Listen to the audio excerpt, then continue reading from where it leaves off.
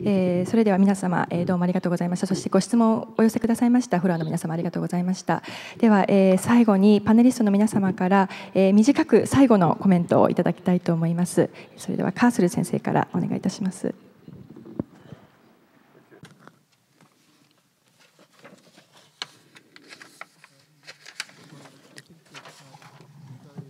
非常に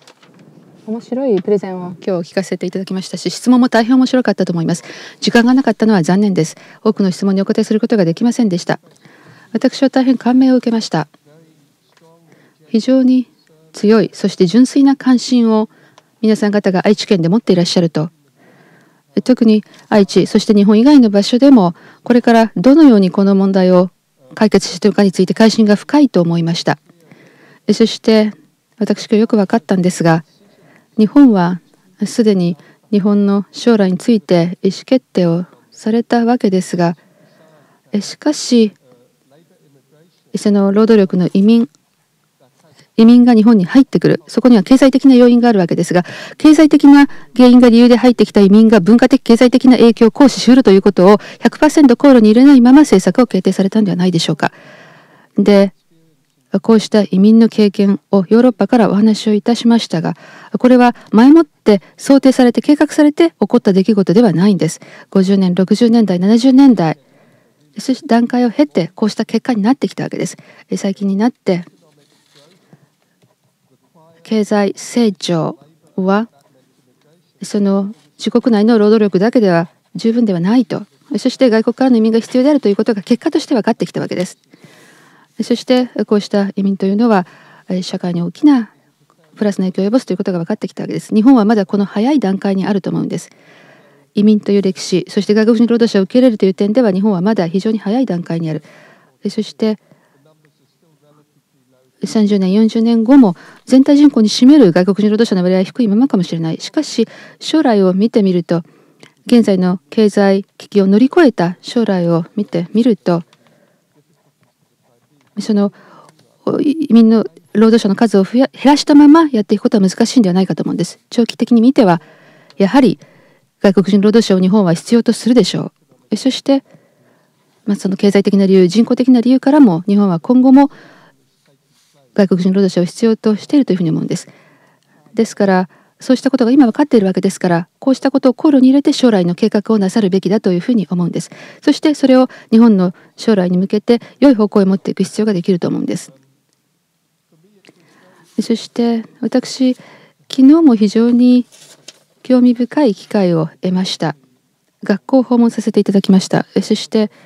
福祉プロジェクトも拝見させていただきました。愛知県で行われているプロジェクトでこうしたプロジェクトによって外国人労働者そして外国人労働者のへのサポートに関するプロジェクトを拝見させていただきました。その際その非政府機関 NGO が大きな役割を果たしていらっしゃる。そして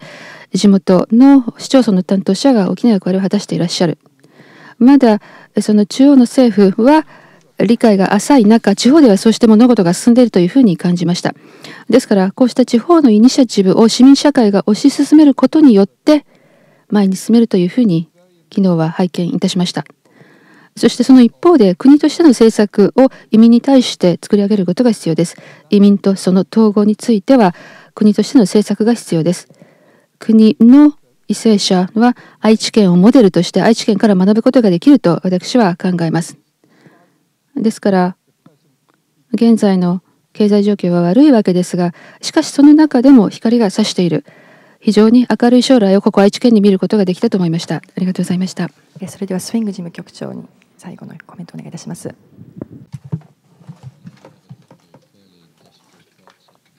いくつかその思いついたことをまとめてみたいと思います。全体的な問題というのはえグローバルでその、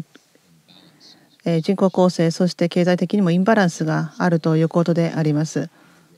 ですから全ての移民の問題というのが全てその労働の問題その労働者の移住ということに関連しているわけであります。その12月に世界の労働力のその移動のリポートを出したところであります。そこでえ、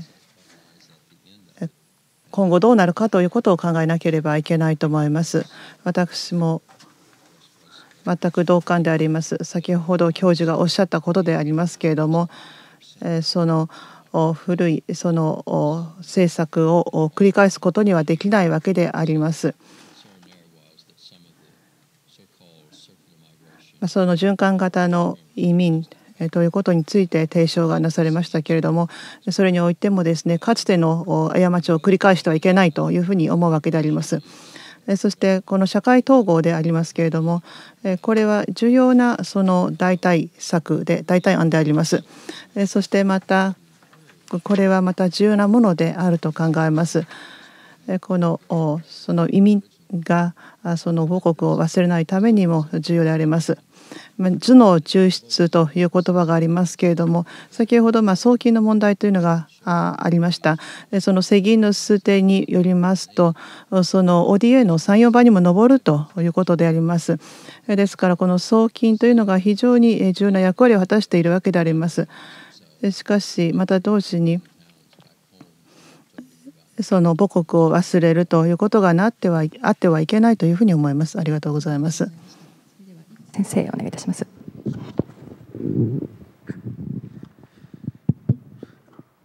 えー、本日はあのこのディスカッションに加えていただいて非常に光栄存じております。あの数点だけ申し上げて最後のあの私のお話しさせていただきたいと思います。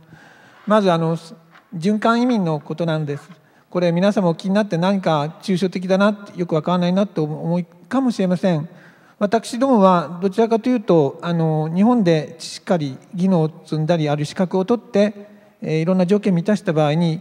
また国に帰ったものはその資格が生かせてでさらに雇用とべばまた日本にも来れるというそういうある種のあのまさに先ほどあのあの、えー、キャスル先生おっしゃってたように一定の条件さえ満たせれば域内を移動するのは自由に受けるというそういうニュアンスを考えているんですがただあのこれは日系人についても考えていただきたいんです。日系人というのはもう今でもある意味で行ったり来たりできるんです。だけど行ったり来たりしながらキャリアアップしていかないですね。そういうところでどうやったらいいかっていう問題になります。これは EPA あの経済連携協定についてもそうなんです。ああいう方々あのせっかく日本で資格取ってもそれがベトナムの場合は今認知してもらってます。しかし日本の資格帰ってから認知してもらえません。これじゃ circular migration にならないんです。いろんな意味で circular migration の発想で改革が可能になってくるはずなんです。ぜひそれは本人たちのモチベーションが活かせるんですこれが。そのことが次への将来につながるっていうことが意欲につながりっていうことなんですね。決してあのなんか固い循環移民って難しいな提案ではないというふうにお考えいただきたいともう時間がないと思うのですが、えー、それからあの日本はあの先ほどあのキャスル先生もおっしゃったんですが日本はまだある種のこの受け入れの初期段階じゃないかと言われたんですけれども私はそういう面もあるとは思いますしかし70年前にやはり朝鮮半島からたくさん受け入れた経験があってその後しっかりしたシステムを作ってこなかったのをようやく今回の法改正である意味で、えー、大きく変えようとしているという面もあるんですね。で私はそういう意味から言いますとあの、えー、やはりあの単に初期段階というよりはあのこれからは手遅れにならないように。金融危機の前にもっと改革進んでたらもっと日系人の人たちこんこんなひどい目にならなかったかなと。いうふうにも思いますと努力はしてるんだけれどもテンポがあまりに遅いんです。だから手遅れにならないように次から次へと改革していくっていうことを